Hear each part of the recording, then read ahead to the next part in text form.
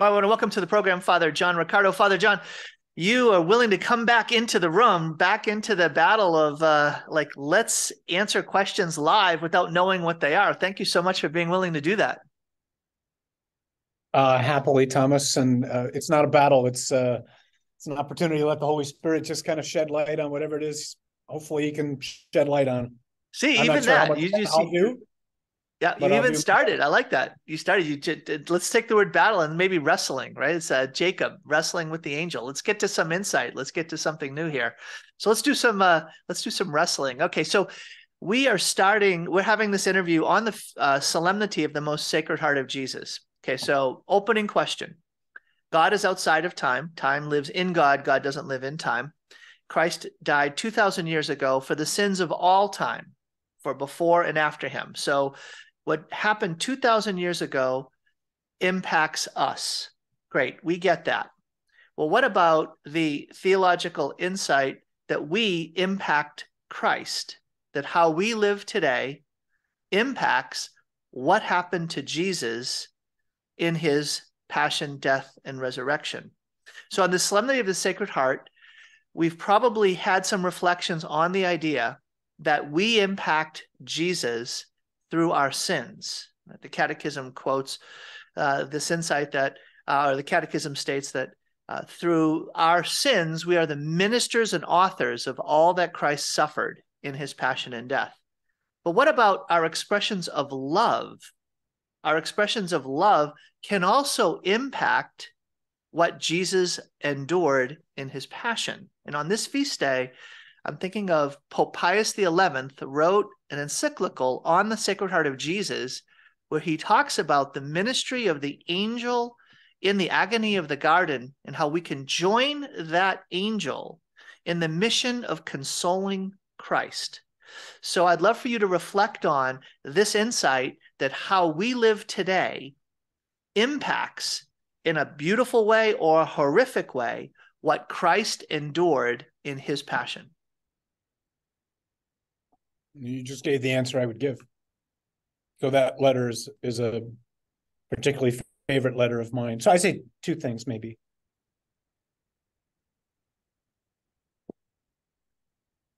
So the first is to make sure that we understand the passion um, more fully than perhaps most of us do. Meaning what? Meaning Jesus and his passion is by all means making atonement for our sins. So I mean he's hanging right behind me. He's also um, revealing to us the Father and who the Father is, and who the Father is is love. So when you look at the cross, you don't see um, anything so much as you see the love of God. But the thing that most people don't take into account, I find, and which has been so transformative for me, is to keep in mind. So the, the one who's hanging on the cross behind me um, is the one who made the universe, and the universe is 90 plus billion light years across. And you can't nail him to a cross. Like Jesus, so we use the language like Jesus is a victim. Well, that's true, but it's also not true. Jesus, n- nothing on the cross is happening to him. Jesus is the one who's always in control. And I think the thing we have to keep in mind to balance what you're saying or, or putting forth is um, the other thing that the Lord is doing on the cross is he's going to battle. That's the that's the real battle. And he's going to battle against the one who's bound the human race from whom we cannot escape. And he does it in an extraordinarily clever way. And he does it by hiding in flesh. So Satan is deceived on the cross into thinking that um, he's going to capture this man like he's captured every other man since Adam's rebellion or or falling for the first deception. But in fact, what Jesus is doing on the cross is yes, making atonement and yes, revealing the Father's love, but he's also he's something like a Trojan horse, which is kind of a favorite image of the fathers of the church. They don't use that language, they might use fishhook or mousetrap or something like that. He, he's he's trying to um, get into the strong man's house so as to liberate us. That that's just really important to keep in mind. I think as we start talking about how he's making atonement and how we can console him. Otherwise, you get an image of Jesus like Jesus is, you know, somehow lost his superpowers on, you know, Holy Thursday night and Good Friday, and then they suddenly come back on Easter Sunday. But but the Good Friday is not a defeat. The, the cross is a victory. It's not a defeat. And Easter Sunday is a confirmation of that. Now, that said, let's go to your question. I, I find that passage in um, in the Holy Father's writings about consoling his heart or, or kind of like stepping into the ministry of the angel to be an amazing um, thing to reflect on. I don't understand how that works, quite candidly, but I I do find it a helpful way to pray. To say, okay, so uh, Jeremy Driscoll, who's the abbot at Mount Angel in uh, Mount Angel, Oregon, I heard him say one time that the Lord on the cross and in his passion, so the, the whole paschal mystery is something like a car slamming on its brakes. And so if you watch a car slam on its brakes in slow motion, the first thing it does is it lurches forward and then it rocks backwards and then it comes to a standstill. And he says that's what Jesus is doing in his passion. Like he he lurches forward and he grabs all the sins of all of humanity that's going to live after him and he pulls them to himself and then he lurches backwards and he grabs all the sins of everybody since adam and he pulls them to himself and then he comes to a standstill like this because he's he's the god man and so if that's what's happening in the passion and the passion begins in gethsemane then um, when I pray sometimes, I just pray, Lord, bring me, or Holy Spirit, bring me into the garden. Because I know, I know he's absorbed my sin into himself in his scourging and in his being nailed to the cross and in his crowning with thorns. But let me right now somehow be a means by which I can comfort him, not just torment him, or not just be a means by which he's suffering, I should say, um, but be a means by which I can comfort him and tell him now um, how much I love him and how sorry I am. And to be there on behalf of those, you know, it's kind of like the prayer that the angel teaches the children at Fatima, you know what? Um, uh, I love, I adore, you know, I and I ask forgiveness for those who do not love and who do not adore. So, Lord, on behalf of all those who ignore you, who take for granted the gift of life, who trample on the cross. Um, I'm here. So somehow, Lord, I pray that my love, as weak and pathetic as it is, and fickle as it is, at this moment in time, is a is a comfort to you. I don't know how to think of it other than that. That's very beautiful, Father John. I love how you you're drawing out the let's call it the paradoxical aspect of of the truths of our faith that we have to uphold two elements at the same time in order to understand either one correctly. You're talking about Christ crucified as a confession of the sins of the world and a confession of the love of the Lord. It's both simultaneously. And so being in the garden in both ways, simultaneously saying, Lord, I'm so sorry, but Lord, I love you uh, is this powerful mystery. I'm going to talk about that. The truths of our faith are mysterious, they overflow our capacity. Uh, and they overflow any concept, the capacity to express fully the reality we're talking about. So, let's take a look at two um, two elements of our life of faith: who Jesus is and who the church is. And so, as we orbit around Christ Jesus, the Son of God. There are different entry points, and those are often referred to as the titles of Jesus. So, as you are orbiting around, as you are relating to Christ through the various modes by which he's relating to you, is there one or other that you have found so helpful to help you in your life of faith or to help you in your ministry of helping Catholics come alive? So, Jesus is Lord, Savior, Shepherd, divine physician, prince of peace? Is there a particular entry point into who Christ intends to be in the lives in your life or the lives of the faithful that you feel like, you know, we, we need to explore and enter into Christ more fully through that title? Um, it changes. So let me find you a, a quote really quick, but it so it it varies, you know, from time to time, but um much of the time, and including like right now, um what I think is most um encouraging to me is the title Goel. So um in the um in the book of Isaiah, um, let me find this for you real quick. This is the joy of um, you take your time. Not knowing great. um, so it's Isaiah 49. So um, the Lord says, um, pull up this whole passage. So in, in order to get this, again, you, let me let me just set this up if I can, because I don't think I, my experience increasingly so over the last few years is we don't know this part of the gospel. We we don't know what, what I would call the bad news. And because we don't know the bad news, we don't find the gospel to be all that extraordinary. And I think most people, so um, most people, I think, see Jesus. Well, we all see Jesus incompletely. Most people see Jesus um, especially most men, in an almost emasculated way, mainly because of the passion.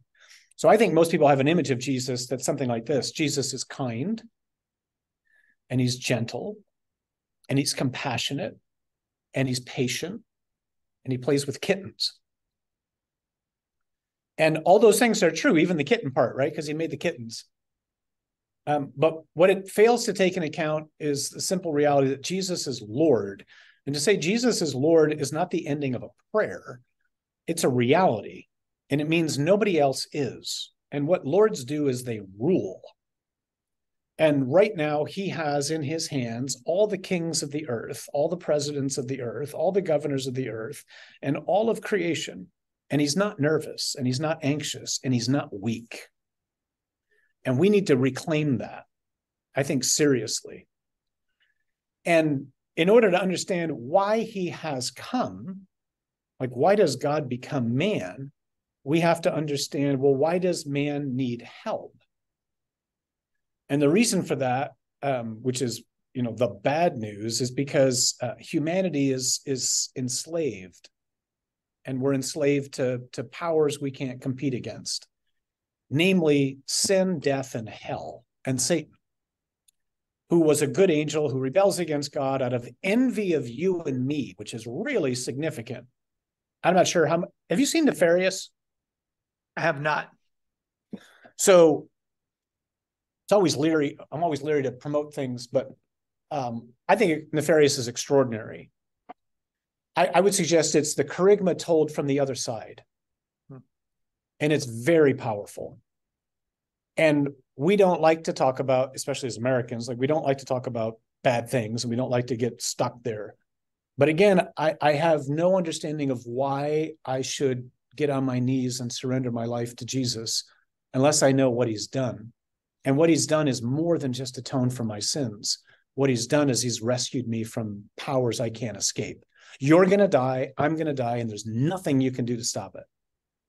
Nothing. And if you've ever been at the bedside, any of us listening of, of the uh, someone that you love who's dying, you've never felt more impotent because I can't stop it. My mom got cold from the feet up. It was horrific to watch. It was taking her.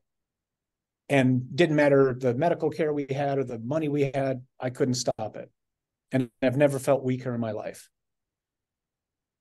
And death's not supposed to be here. It's a power. That's how Paul talks about it, especially in Romans. Sin is also a power. So sin isn't just something that I do, although it is. It's also something that exerts control over me. That's why, you know, think for 10 seconds have you ever done anything that you didn't want to do, that you knew you shouldn't do, that you hated doing and you did anyway? And of course, the answer for all of us is yes. And that makes absolutely no sense. Why would I do something that I know I shouldn't do, I don't want to do, and I hate? Well, it's because sin's a power. Well, how do we get there? Well, we got there because this creature who was an angel who rebels out of envy deceives our first parents. And the result of the fall is not simply that we rebelled against God, it's that we sold ourselves into slavery. And there's no way out. That's the situation of the human race. Like you and I are in the hands of a fiend who traffics humanity far worse than any human trafficker on this planet. That's to set up how I see Jesus and my favorite way of thinking of him. So in Isaiah 49, God says this He says, Can the prey be taken from the mighty? Who's the prey? Us, you and me. Who's the mighty? Satan. Or the captives of a tyrant be rescued? Who's the captives? Us. Who's the tyrant? Satan. Thus says the Lord, which is which is like, listen up, people. Even the captives of the mighty shall be taken, and the prey of the tyrant shall be rescued. Why? Not because I'm going to send an angel, not because I'm going to wave a magic wand, because I, God says, will contend with those who contend with you. In other words, I am going to fight for you. And he goes on to say, Then all flesh shall know that I am the Lord, your Savior, your Redeemer, the mighty one of Jacob. And the word that's used there, your redeemer, is in Hebrew the word goel. And a goel is somebody who acts as the next of kin. And a goel in the Old Testament has a lot of roles, but especially two. If, if somebody in my family is sold into slavery, it's the goel's role to go get them out of slavery.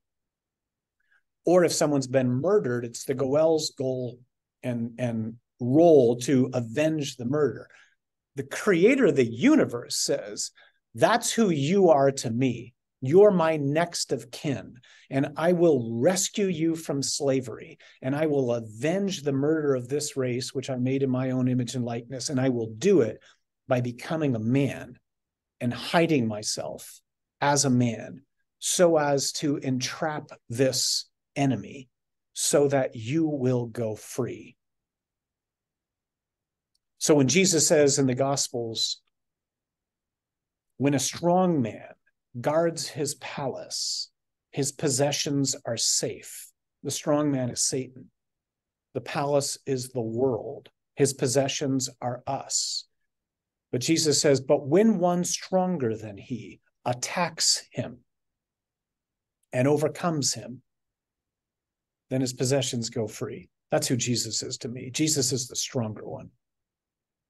That's beautiful, Father Father John. I'm talking with Father John Riccardo today, and uh, just having this live dialogue, this live conversation, bringing these interesting questions. Uh, it's a very powerful insight, and this actually gets me to move further down my list of questions. So you and I, we uh, attended the same major seminary for several years, North American College, Gregorian University. Uh, question about omission and inclusion. So I'm going to ask you about the most serious omission and the most important inclusion regarding your time in the seminary. So, what would you say was not taught? This is the most serious omission. What would you say was not taught in the seminary that now looking back 30 years ordained that ought to have been taught? What was not taught that ought to have been taught? And then what was the most important inclusion? What happened in the seminary that was so significant that it has forged in you what it was you've needed to live out your mission faithfully. So, the most serious omission, what wasn't taught that ought to have been taught, and the most important inclusion, what was it that happened in your seminary formation that has forged in you the gifts and graces you've needed to be faithful to live your mission today? Great question. So so I say oftentimes when we're working with bishops and priests and lay leaders in our work, I, I think right now the, the most serious omission was in one way or another, either implicitly or explicitly. Um, I somehow got the message. Uh, don't know that I believed it, but I, I really don't believe it now. That that we as ordained should never be vulnerable.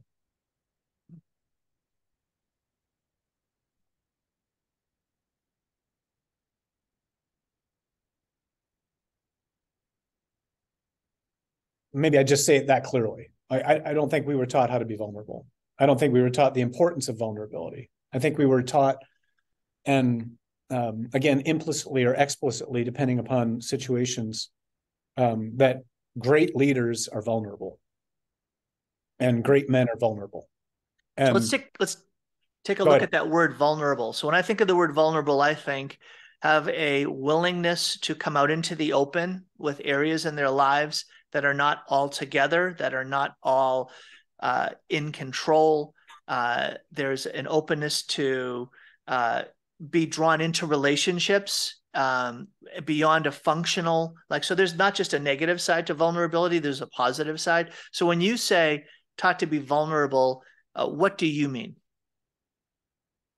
Yeah so it's literally like able to be wounded right? And so i think it means everything from um, um in an appropriate way bearing our scars mm-hmm. Like Jesus is vulnerable. Jesus shows his wounds. Jesus Jesus doesn't hesitate to show his wounds. Jesus doesn't hesitate to show all his emotions. Um, the Lord sweats blood. He cries over Jerusalem. He reveals his pierced heart to Thomas. Um, I what I mean when I say that is um, great leaders uh, are able to be at one and the same time. It's yeah, strong and um,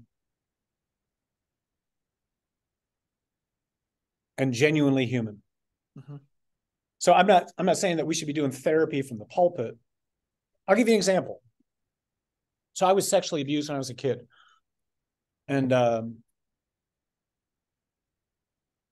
I don't even know when it started. I, I remember very clearly the date ended, but I don't don't remember when it started, and it was from different people. I would never have thought of sharing that 30 years ago, maybe outside of with the spiritual director. Um, I share it all the time right now. And I share it because for a lot of reasons. Um, but I, th- I, I think it's the, the church is in, I think, desperate need of learning how to be human again. I think that's actually one of the one of the most fundamental problems in the church. We we relate, excuse me, very functionally and transactionally to one another, often. Not always, but often. And uh, you, you can't love what you don't know. And unfortunately, our our parishes more often than not are so big that we can't know each other. And so it's no surprise that we often talk to each other and relate to each other the way that we do. And I think it's incumbent on those who lead to let themselves be known. That doesn't mean you got to know every intimate detail of my life, but that's how that's one of the ways I want people to know me, and I want because I, am I'm, I'm also, you know, um, self knowledge hopefully helps us to grow in kind of like emotional intelligence. And so we're aware of how we come off.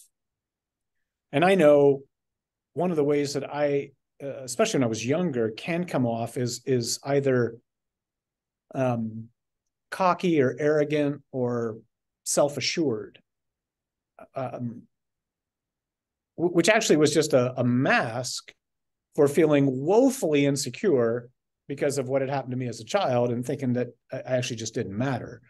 So I, I masked that with I just don't care if I don't care what you think of me because I don't want to get hurt again. So for those you know who can come off that way to actually reveal, um, you know, I'm I'm aware of that, and and in fact, this is who I really am and we all have masks and we all have wounds and we all struggle with things and the lord's in the in the business of putting us back together and of using us to help heal each other and nobody hears all together uh, can be very helpful i think yeah I, just to confirm that so i've been doing radio ministry for 18 years and uh, on Fridays, my wife Carrie is on with me. And um, when I bump into people or people contact me in whatever form and they talk about the radio program, almost without exception, they'll say, I love your program, especially Fridays with Carrie, because it's so genuine, it's so real. We are willing to disclose that this is the reality of what it is we're walking out right now, not it's all perfect and we're on the radio. Therefore, we're the teachers, we're up high and we'll condescend to share with you wisdom that hopefully one day you'll be able to get to where we are. And so, having that sense of authenticity and genuineness is so very powerful because it makes you're a witness to a truth, not just someone who's a scholar of the truth. So yeah, I can. Yeah, no, I appreciate that. I'm not. I'm. I'm really not interested in being a scholar of anything. I want to be conformed to Him, and um, I'm. I'm grateful for the education that I have and what I've been blessed to to learn in in a variety of different ways. But man, I got a long, a lot still to learn. I what I'm what I most want, especially as the culture gets less and less human, I want to try to model a way of being human. It's so essential. It's one of our apostolic values in our work like we give each other permission to be real like mm-hmm. it's okay to not be okay you know so i think that's the biggest omission all right let me uh i'm gonna dive into i'm gonna sh- do you want to talk about the the greatest gift you received or a great gift because i've got yeah, a bunch more i'll do it real quick um right. it, so it wasn't something that was it, it was something that came it didn't come formally it came just by being in rome um, I think the biggest inclusion was the desire for magnanimity. Hmm. Um, being in the presence of the saints, um, quite literally in the presence of the saints, you know, in the in the remains of the relics, in the presence of John Paul, as often as we were fortunate to meet him, um, it it roused ever more in me or confirmed ever more in me um, a desire to be great for God, not for me. Um, I could give a flip if anybody ever knows my name, but I, I, I deeply believe that every person has within them a desire to be great, mm-hmm. and and the saints model for us what greatness looks like. That's beautiful. And, you uh, actually tapped right into a question of mine. Uh, the saint for our time Padre Pio or Mother Teresa. Uh, saints help us move us to accomplish our mission.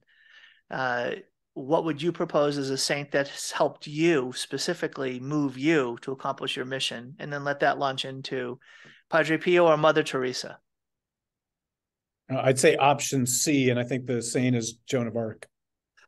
Really? I love it. Let's go so it's interesting, right? So Joan Joan's burned at the stake at uh, at 19 years old, uh, 1431. Um, we know more about her perhaps than any other person who ever lived at that time. And we know so much about her because we have the transcript of her trial and then the transcript of her um, like, oh, sorry, we burned you to death uh, retrial. And so we have not only her words, but we have the words of those who knew her. So Joan's is fascinating figure. So she's burned at the stake, and yet she's not a martyr because she doesn't die for the faith. Um, it, it it's a it's a strange case because it's so um, seemingly political but the the reason why Joan's so significant to me is um, so Joan's one of Joan's many famous lines uh, when she embarks on the mission that the Lord gives to her. She was asked, "Aren't you afraid?" And she says, "No, I'm not afraid. God is with me. I was born for this." That is magnanimity. That's not pride. Um, that's magnanimity and the reason why I think that's so significant is what we're constantly trying to drive home into every other person is that's not just true for Joan. That's true for you and for me, for every single person. Like I was born for right now, and you were born for right now. I'm not a historical accident. You're not a historical accident. Like God could have chosen in his providence for you to be alive at ninth century Guatemala, right? But he chose now in this country where you live. And he and he placed into you very particular gifts, just like he placed into Joan very particular gifts. And he's placed every single one of us where we are with our with our gifts, natural, supernatural, and he has a mission for us. And I don't think most Catholics know the mission. And the mission isn't to get out of here. The mission isn't to survive and get to heaven. You know, like heaven's the goal to be sure, but heaven, I don't think we understand what heaven is either.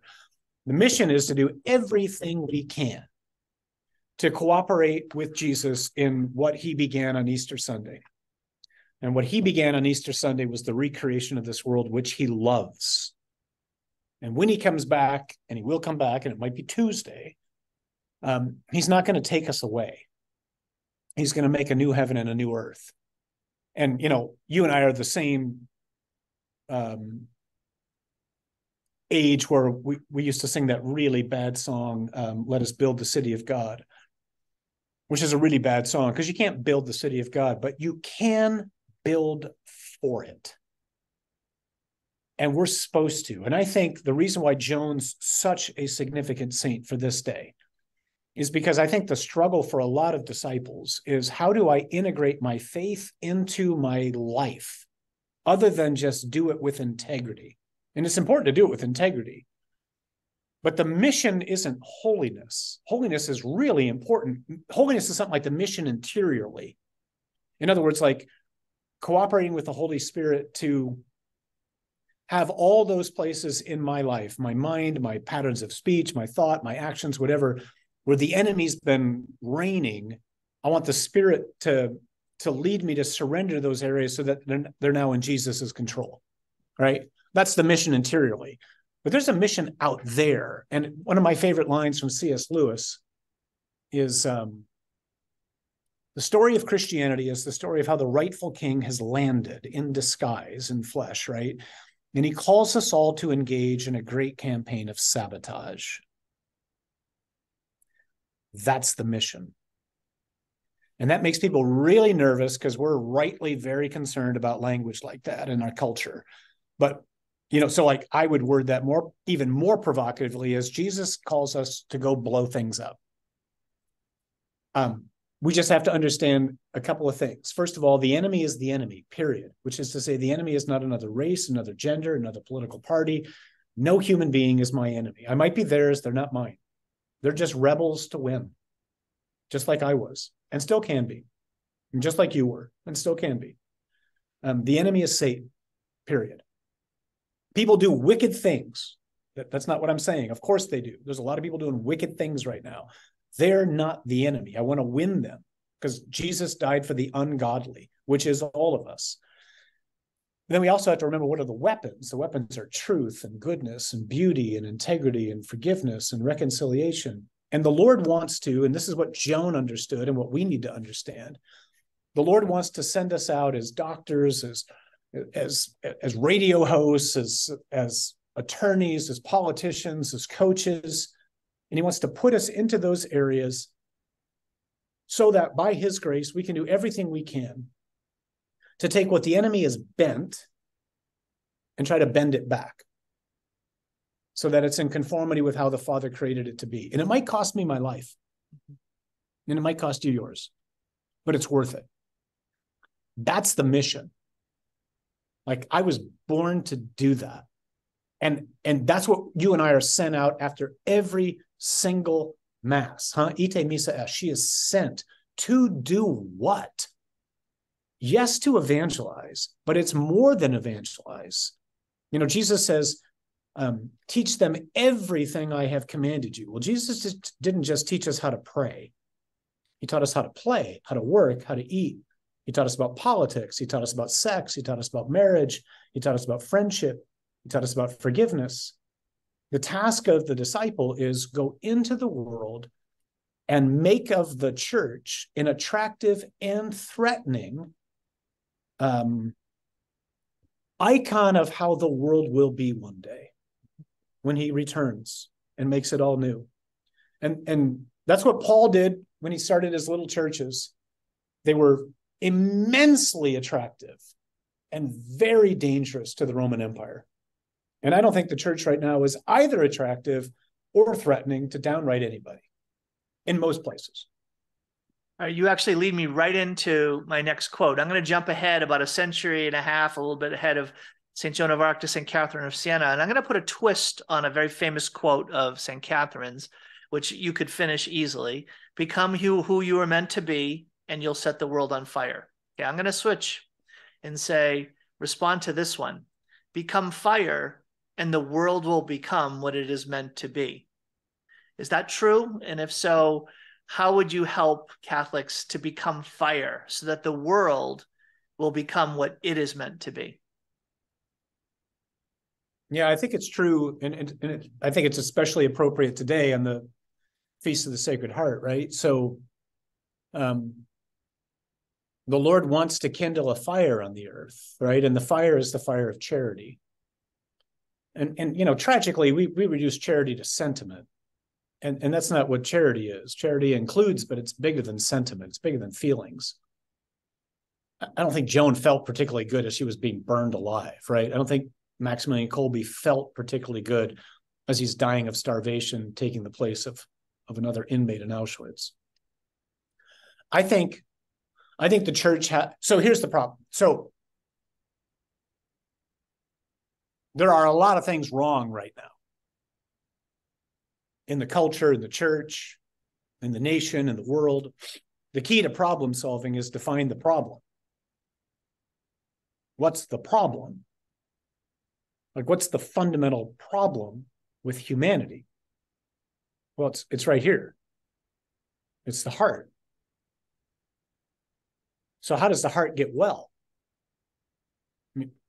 Politics is very important. Can't fix my heart. Law is really important. It can't fix my heart. The only one that can fix my heart is is God. And he, he fixes that in lots of ways by the power of faith and by the power of the sacraments, especially, whereby my heart is hopefully ever more conformed to his heart. And so become fire, meaning what? Have your heart ever more conformed to the heart of Jesus. What are you going to do? Well, you're, you're going to you, you're going to help heal the world. Why? Because the world's at each other's throats right now. And nobody can fix this except God, which is to say, nobody can fix this except his bride. Because that's how God works in the world right now, is through his bride. The problem is the church is at each other's throats too. And so there is a, like, everything's at stake. Like, we, we have got to get well as the body of Christ, or we are not going to be able to answer the world's cry.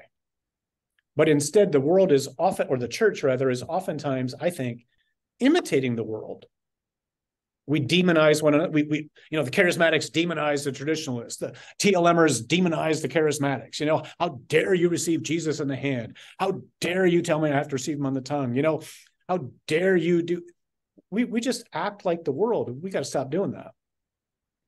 And so, if our hearts can can ever be conformed to the Lord's, if my heart can be ever more conformed to the Lord, then I'm going to be all the more able to go out into the world in which I live and to play my part in helping to reconcile the world,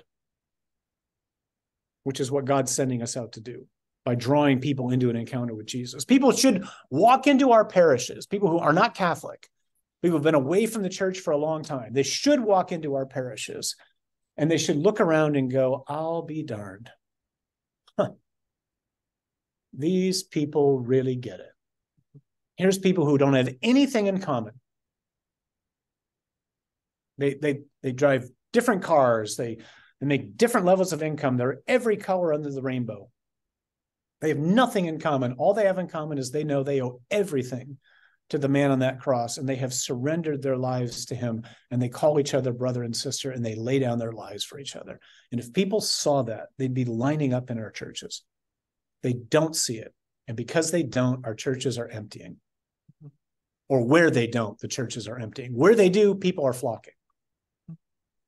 Yeah, I uh uh, I was talking with my wife Carrie before the the interview and just saying, "Hey, you know, I've got a whole bunch of questions for Father John. What would you want him to talk about?"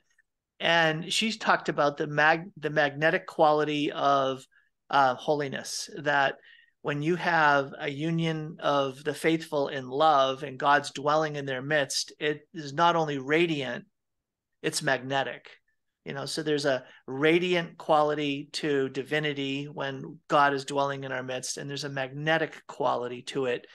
And it was specifically connected to the work of evangelizing. She said if there's something that holds me back from evangelizing uh, it's not about talking about Christ, but it's talking about the bride of Christ. Because where are they going to come? We're going to bring them to that parish. Are they going to see and flesh the one that we were so passionately talking about. And so that discrepancy between the Christ that we hopefully radiate because we've been set on fire and then the communities we bring them back to, it can be a, a real painful gap that we end up facing in our in our work of evangelizing.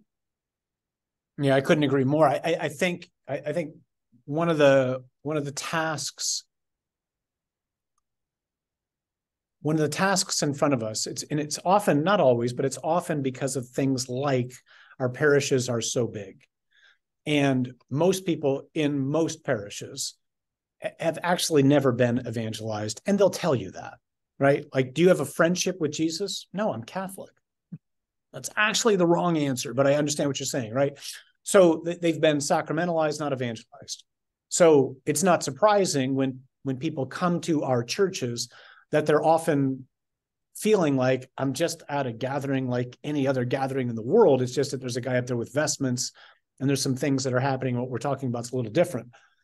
I think that's why it's more and more imperative in the age that we're living in right now for evangelization to take place in the home and for us to understand that evangelization is really not going to happen in most parishes. It's going to happen in some, what happens in the parish should be I'm nourished by the sacraments. Hopefully, I'm nourished by the word of God. Hopefully, I'm equipped to go out on mission. But if maybe it's a, another way to say that would be I would I would first want to evangelize and bring people into my home where you're not going to get the sacraments to be sure, but what you are going to get is you're going to get a taste of the body of Christ. And you're going to get it in a flawed way because I'm flawed and you're flawed. But I, I want to try to at least invite you into a small community of of men and women who are diverse but who are serious about wanting to grow in conformity to Jesus and live in friendship with him and invite others into that friendship convinced that we are that that's the only way to live a genuinely authentic human life. So i'm going to invite you to my home and then i'm going to prepare you for what you're going to see in the parish. And i'm going to tell you that so- it's going to be disappointing. Yeah, that's so powerful. I think that uh, so when Carrie and I talk about our married life, and when we talk about marriage and family life, we say that uh, you know the family is the icon of the Trinity, right? That the family is marriage is a communion of persons, and uh, that is meant to reflect the the Trinity as this mysterious, infinite, perfect communion of persons. And then I'll say kind of a dramatic statement: if you want to know what the Trinity is like, come and hang out with us in our home. And uh, like that's your standard family. Yep. Your family your standard as a family ought to be if you want to know what the blessed trinity is like come and hang out with my family and you'll get a sense of it. You'll get a whiff of it. You'll have a a, a sense of you've encountered the living god because of how we are as a family. And so when i talk with carrie about what brings me the greatest happiness as a family it's not about accomplishments or stuff.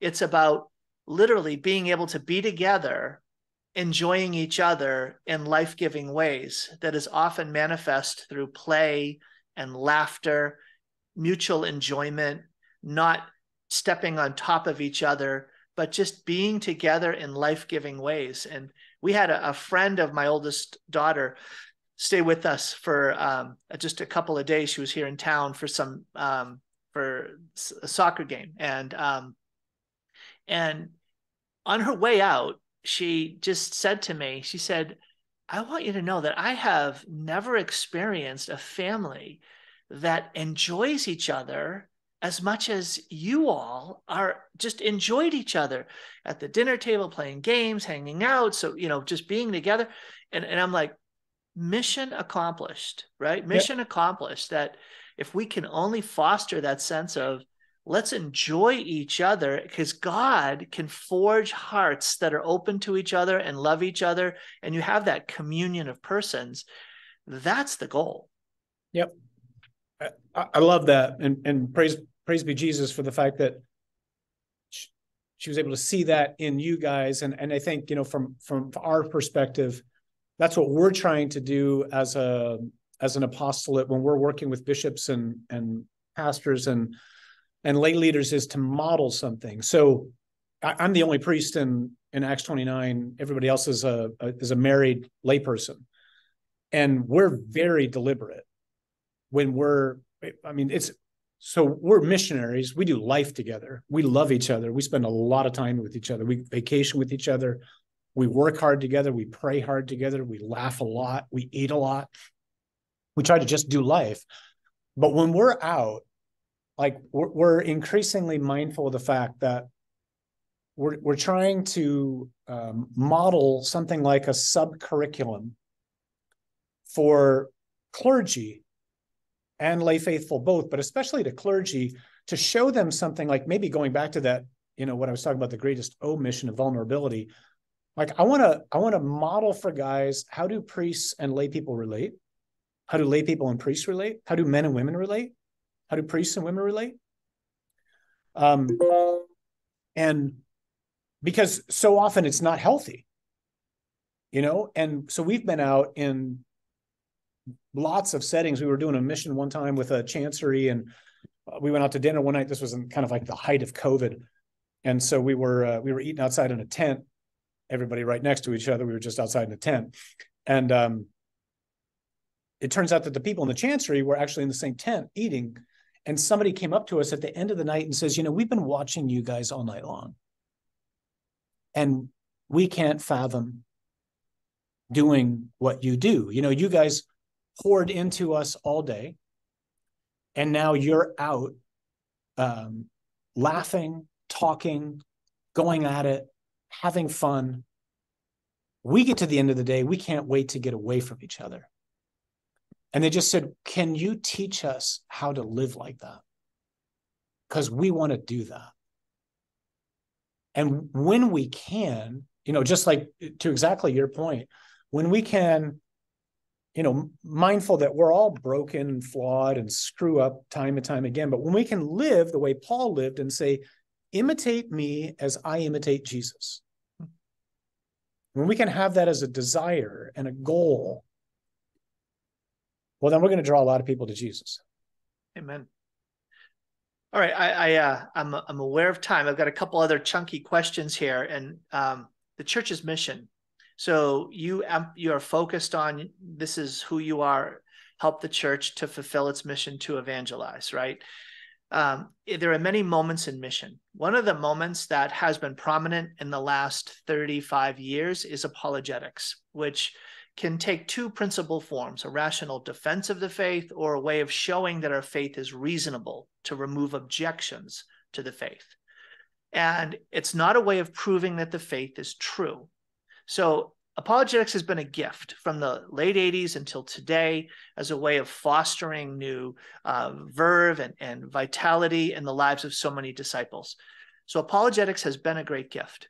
And if you want to speak to the way that you've seen apologetics be a gift, I'm open to that. But I'm more interested in the way that you've seen apologetics be a hindrance.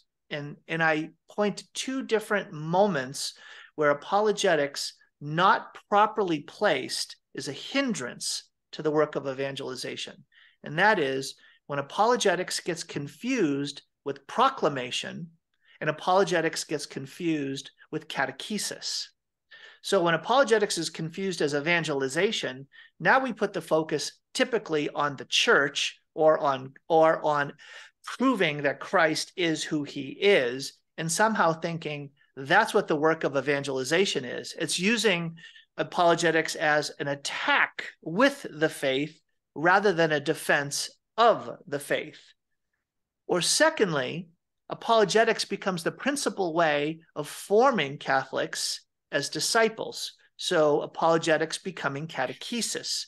For instance, purgatory becomes taught in a way that you can show the scriptural basis, some historical moments, and you can identify the obstacles that people have and you can get rid of it. But people have no sense of, no sense of how that doctrine can take uh, take flesh in their lives, in their spirituality, regarding mercy, regarding cleansing, regarding devotion, and all of that. So apologetics is a gift in the in the the missionary life of the in the mission of the church in, in today. But apologetics can also be a hindrance when it's used out of place. How would you respond to that? Yeah, I'd, I'd emphatically agree. So I, I would say you know, I heard somebody say said it years ago, and I think this is true. You know, there's there's kind of two doors by which people enter the church. There's the door of truth and there's the door of beauty. And a number of people, to be sure, enter through the door of truth, which is kind of where apologetics fits. It's kind of the rational explanation of the faith, as you said. Um, incre- increasingly so, it's people entering through the door of beauty for a lot of reasons, not least of which is truth is not exactly the most interesting thing for most people today. Should be very interesting, but it's not. Beauty is.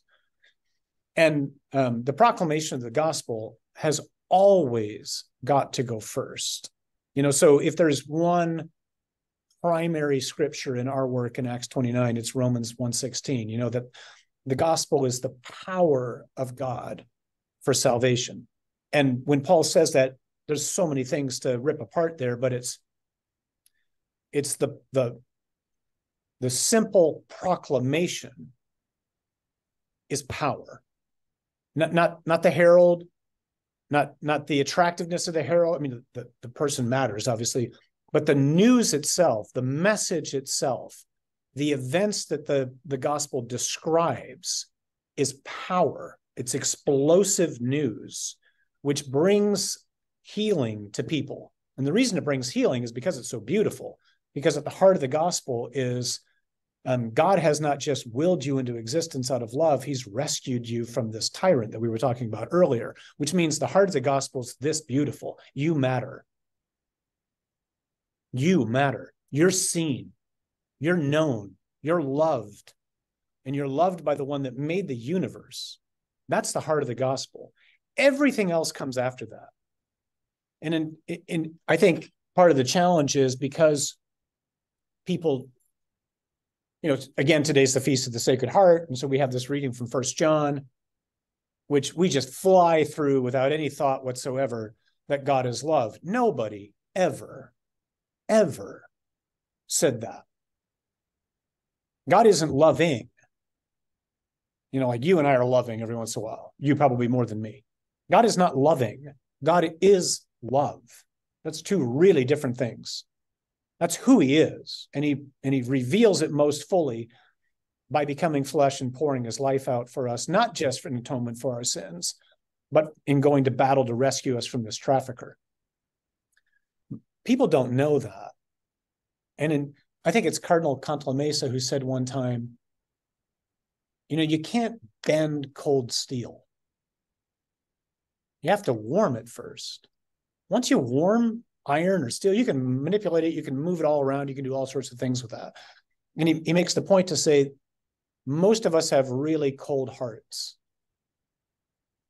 And, and despite all the facades and all the things that we hide behind, what we're all desperate to know is that I'm loved. And the message of the gospel is that simple you're loved. So start there. You're loved. Might you have to change? Yeah, we'll get to that. You're loved. God cares about you. The cross is not a reward for great behavior. You know, you're loved. And until somebody has been warmed by that in the way that only the Holy Spirit can, apologetics, though valuable, actually might be detrimental because I'm going to try to bend cold steel and it might snap. So I think the imperative for most people right now, for everybody, the imperative is always preach the gospel 1st mm-hmm. Otherwise, what we're going to do, and it's and it's very tempting right now in the culture to go after all sorts of um, moral issues. But if you go after moral issues without having first evangelized and warmed somebody's heart, you're actually going to make them angry and you're going to drive them away. Yeah, I want to get I want to dive into this a bit more because my experience, this is anecdotal and it's more about attitudes, is that those who have come into the faith through the doorway of apologetics and who lead with apologetic modes of expressing the faith in moments of evangelization or catechesis often are in a position of controlling or mastery over the faith. Like, ask me a question and I can master it. I can um, manipulate around by giving you correct theological answers. But what's often missing is that moment of vulnerability of surrender, of letting Jesus be the Redeemer because I needed to be redeemed. And now my heart is on fire because I've been brought into the fiery heart of Christ. That, that relational dimension where we are His and He is mine is hidden, if not absent, because the faith was never brought to them in that way. And so they've been able to live the faith in a controlling attitude. I don't know if that's too strongly stated, but that is often when I get frustrated with those who lead with an apologetic mode of living their Catholic faith. It, it's bleeding beyond the moment that it's supposed to be in. And, and that's often what it's connected to. Yeah, I would. Uh, I would again wholeheartedly agree with you. I think um, what what what that often what often happens is we're if I'm if I'm preoccupied with truth, and, and that's not to say that truth doesn't matter. Of course, it matters. But if I'm preoccupied with that, I, am it's, more. we're preoccupied with truths, uh, not yeah, with truth. the truth, right? Right. Who is a person? Yeah. What can happen is I'm I'm not really listening to you. I'm I've heard the topic, and now I'm going to prove the topic. Whereas what we want to do in, in discourse, especially mindful of the fact that most people that we're talking to have genuinely never heard of Jesus. They don't know him. I need to have one ear to you and one ear to him. And this is hard. You know, this is an art. And and you know, as you were talking, I think one of the uh, one of the things that um, came to mind is um, um, Pope Francis gave a spectacular reflection to the bishops of Brazil back in 2013, where he's reflecting on Emmaus. And he said, um, he said, I, I'd like to ask us a question today. Are we still a church capable of warming hearts? A church capable of leading people back to Jerusalem? of bringing them home. And and I don't know that we are. I mean, this this is you know, company accompaniment has become one of those buzzwords, which now is kind of like almost meaningless, you know. But accompaniment is like I, am very clear on what the goal is. The goal is I want to bring you into the heart of Jesus so that you can encounter the Father's love. But I have to be willing to be very patient because you're not a problem to be fixed. You're a person to be loved. And you probably, living in this day and age, not only have a lot of things that are confusing, but you've probably been hurt really badly, including probably by the church in some way or other, if nothing else by by, by a Christian or somebody who has, uh, you know, worn a collar or whatever. So we got a lot of bruised reeds. And so, are we really willing to like roll up our sleeves, do the long work, of walking with people, not just for the sake of walking with them, but walking with them so as to bring them into the Lord's embrace. And in order to do that, I, it might take some time. I, I heard somebody once, Abigail Favale, you've probably read her. She's got this great book on um, gender and whatnot. She's used to teach out in Portland. Now she's at Notre Dame. There's a great book called The Genesis of Gender. And uh, but in there, she, she uses an image for accompaniment, which I find very helpful. She says, you know, accompanying somebody is kind of like walking a switchback. You're just going, oftentimes you're going sideways. You're, you're, you're always ascending, but it's not always as clear. Like we're actually going somewhere, but yet we have to be in it for the long haul. And Jesus is in it for the long haul with us. We need to be with each other. Nice. I'll respond to this quote God is easily pleased, but he is not easily satisfied.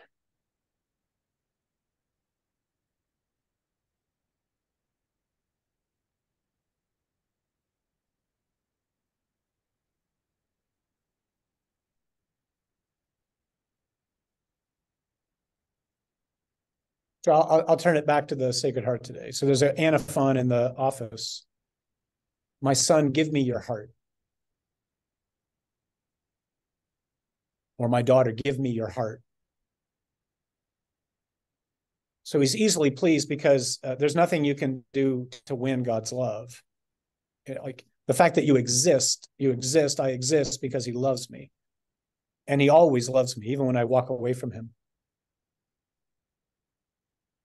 But he wants more for me. And he wants more for me, not, not because he's demanding. Like God's not an egotist, but I think a lot of us think of God as an egotist. The only reason God would want all of my heart, which means to have him first and then everything else afterwards, is because that's good for me.